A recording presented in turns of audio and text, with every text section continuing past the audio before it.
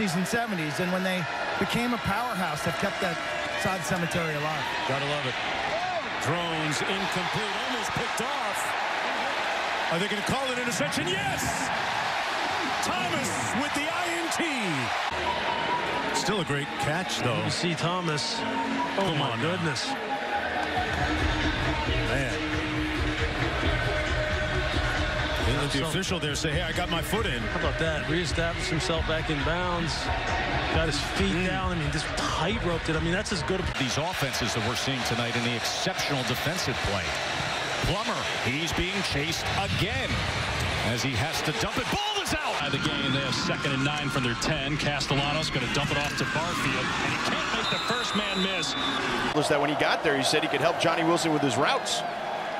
Wiles, incomplete, tries to go to the... Wide receiver screen, and they block it up. They cannot. 40. Does Florida State come after him here? Five-man rush. He's in trouble. He's tripped up and keeps his balance. And now sacked back at the 25-yard line. The ball comes out, and it's picked up by Florida. Game started at their own two.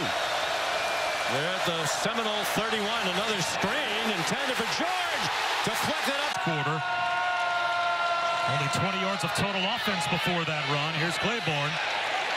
Clock at one. They got to snap it. They get the playoff in time. Castellanos moving to his right and throws it away. backwards there trying to make that catch. So the drop is a drive killer, and Mastromanno hits it high. And coming up to make a fair catch, another muff. A scramble for the football. The Florida State team has it. LSU thinking, oh no, not again.